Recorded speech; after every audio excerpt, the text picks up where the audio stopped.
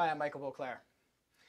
A fun and weird way to practice our flams is to do consecutive flams, alternating flams rather, alternating flams from right to left.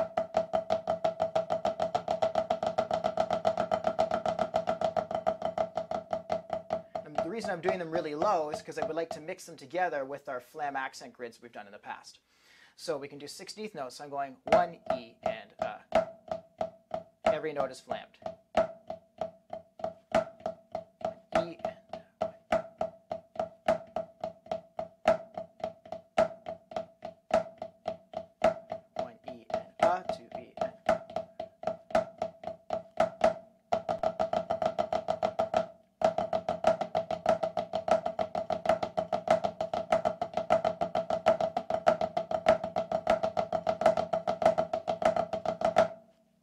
Just a fun, weird thing to do. Working our flams, you can do it in triplet, obviously, too.